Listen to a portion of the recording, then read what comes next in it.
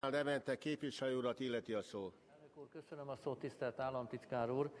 Kis Péter képviselőtársam a nyugdíjrendszer egy szegmensét már említette, itt a nyugdíjkorrekciós programról volt szó.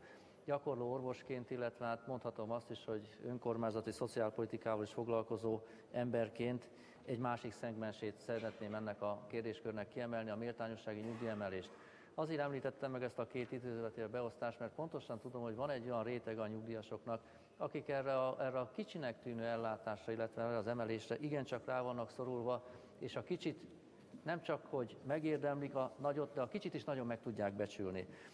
Ne értse félre államtitkár úr, nem akarok senkit megbántani, mert ezen a területen is az összefogásra volna szükség, de ez az intézmény valamikor létezett, és ezt az intézményt a Fidesz kormányzat megszüntette, majd a későbbiekben vissza lett állítva, és 2002-2009 között mintegy 580 ezer fő kapott méltányossági nyugdíjemelést, nyilvánvalóan a társadalom legrászorultabb rétegeiről van szó.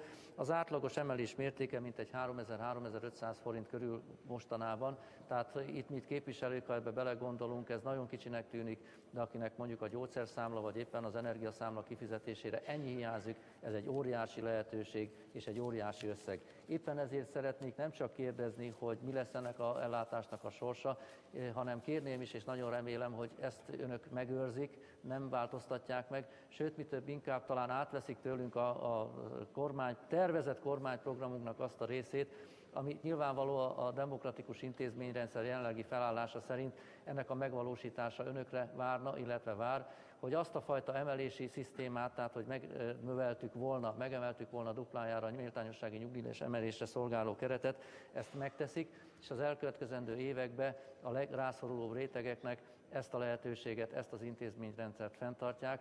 Én ezt kérem öntől, és hogyha ez így lesz, akkor előre meg is köszönöm. Köszönöm szépen.